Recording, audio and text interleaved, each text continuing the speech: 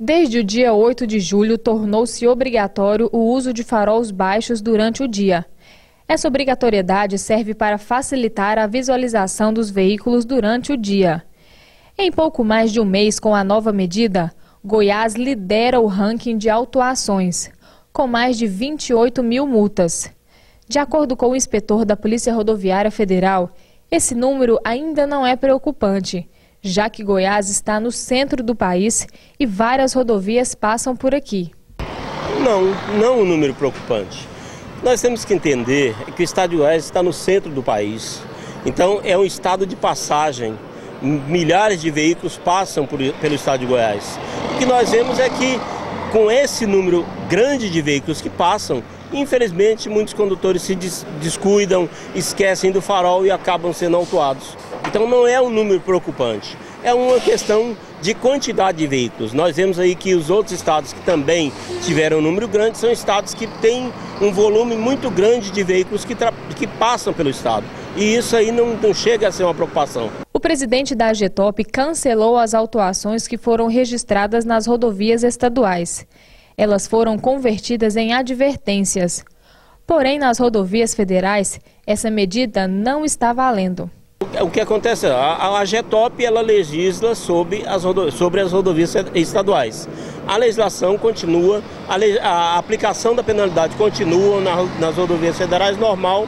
Não houve nenhuma, nenhum cancelamento de autuação, pelo menos que nós tenhamos conhecimento até o presente momento, em relação a cancelamento de auto com relação ao farol. Então continua em vigor, continua sendo fiscalizado e continuam sendo autuados aqueles que são encontrados. A suspensão dessas multas não é válida para as rodovias federais. Por isso a PRF irá continuar com as fiscalizações nesses trechos, inclusive também nos perímetros urbanos das rodovias. Sempre a PRF continua fiscalizando. Até nesse primeiro mês, nós já autuamos mais de 450 é, é, veículos por estarem em descumprimento a esse artigo da lei. Então, a, a Polícia Rodoviária Federal continua fiscalizando. É uma autuação é, que é muito aparente.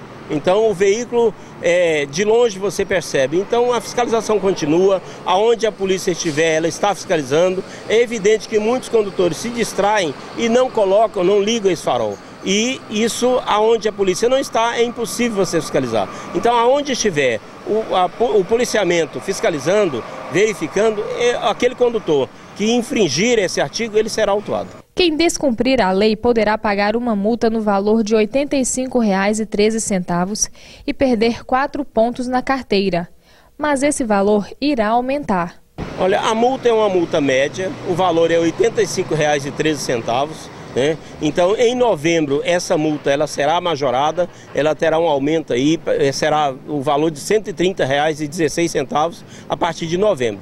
Então é bom que o condutor se acostume realmente a essa, essa a ligar esse dispositivo. Né? É uma preocupação grande com a segurança do trânsito. Em virtude disso, essa, esse novo esse novo artigo do código foi alterado, esse artigo foi alterado exatamente para tornar visível, aumentar a visibilidade dos veículos nas rodovias. Agora, por que, que o valor dessa multa vai estar aumentando? Olha, não somente essa, outras autuações foram feitas. Então já é uma, já uma lei foi publicada recentemente em que majorou várias, vários artigos da, da do Código de Trânsito em, valo, em valores. Né? E essa, essa lei ela entra em vigor em novembro. Então a partir de novembro não é apenas essa multa que será majorada, são várias outras autuações, elas terão a sua, o seu valor aumentado, não apenas a multa do farol.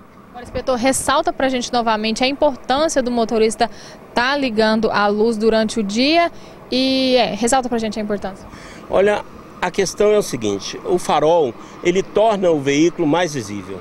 Né? Então, mesmo durante um tempo é, é, fechado, um tempo sem sol, esse veículo ele se torna mais visível porque o facho de luz ele tem uma, uma, uma ele alcança uma distância muito maior. Nós estamos terminando um período, nós estamos aqui quase iniciando um período de chuva e há uma preocupação muito grande com esse período. Então, essa questão dos faróis ela vem melhorar até mesmo durante o período de chuva a condição de visibilidade dos motoristas. Nós sabemos que é, muitos veículos acabam em alguma ultrapassagem, eles não percebem um veículo que vem à frente e acabam se chocando frontalmente. E esse farol aceso, ele torna o veículo mais visível. Então, se o veículo tentar, o condutor tentar fazer uma ultrapassagem em um local em que ele não tenha boa visibilidade do, da, da, à sua frente, mas o facho de luz do veículo que vem à frente, ele vai despertar o condutor para que ele não faça essa ultrapassagem. Isso vale para todas as rodovias federais e também para os perímetros urbanos? Para todas as rodovias federais, inclusive os perímetros urbanos. Ainda continua sendo obrigatório não sei se isso já existem aí estudos tentando é, alterar esse, essa questão do, de perímetros urbanos, mas por enquanto continuam valendo. Todas as rodovias, em toda a sua extensão, é obrigatório o uso do farol baixo aceso durante o período diurno.